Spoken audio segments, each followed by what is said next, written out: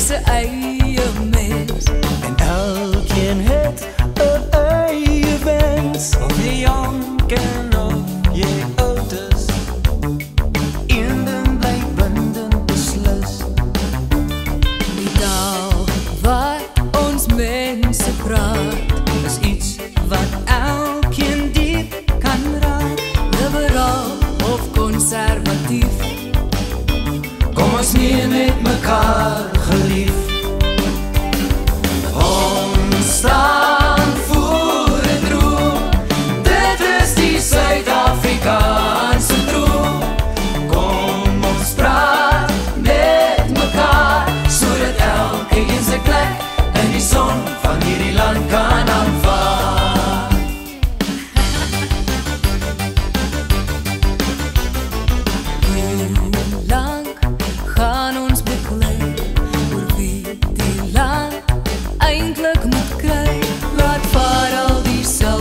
wat lees Kom ons leef, wel laat leef.